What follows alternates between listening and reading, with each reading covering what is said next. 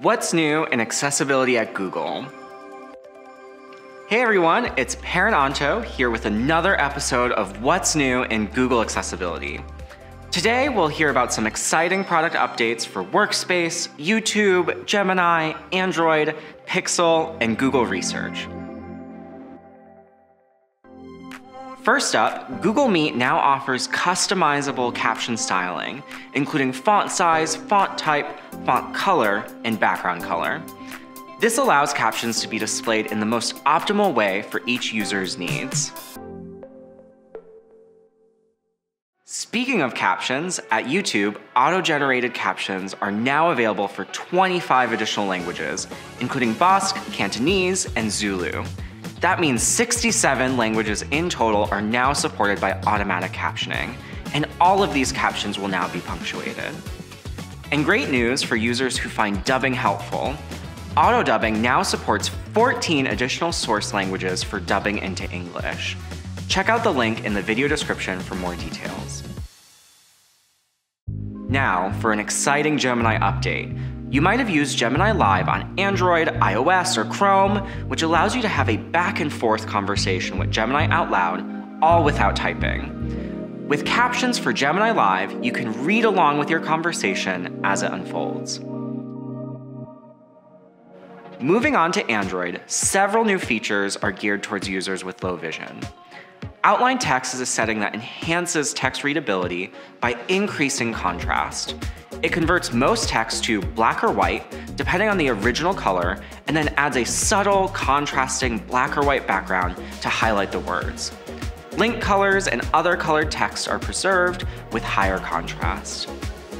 Also designed for users with low vision, Android's screen magnification feature now offers a magnify keyboard option. This allows users to zoom in on the keyboard while using full screen magnification.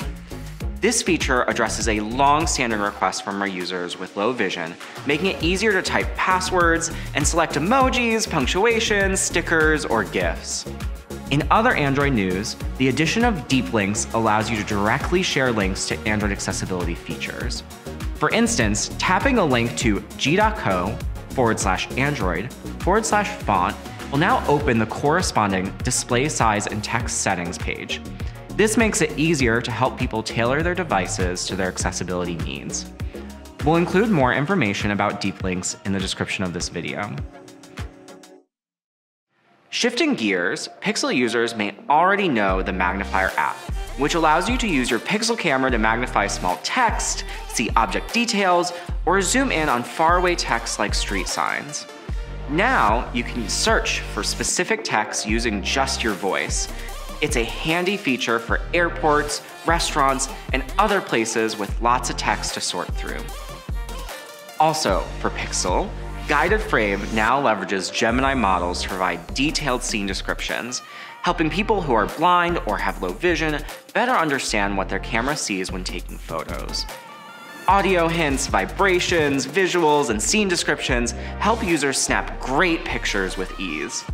For example, if you're taking a picture of four friends on the street, instead of telling you that there are four faces in your shot, Guided Frames scene descriptions can now give you details like there are cars parked nearby, some trees are in the background, and everyone is laughing. Lastly, we're excited to share something new from Google Research, a feature for the Google app on iOS called Simplify. It uses Gemini to make jargon, technical details, and complicated text easier to understand. When you select any website text in the Google app on your iOS device and tap the Simplify icon that appears, you'll see a new, easier to understand version of the text, which might be longer or shorter than the original. After you grasp the concept, you can continue reading without having to navigate away from the page or spend a lot of time researching. Well, that's a wrap on this episode of What's New in Google Accessibility. For more details, be sure to check out our YouTube video description where we've provided links and additional information about many of these updates. If you want to learn more, sign up for our newsletter at g.co forward slash A11Y forward slash news or by clicking the link in the description of this video. Thanks so much for tuning in. See you next time. What's new in accessibility at Google?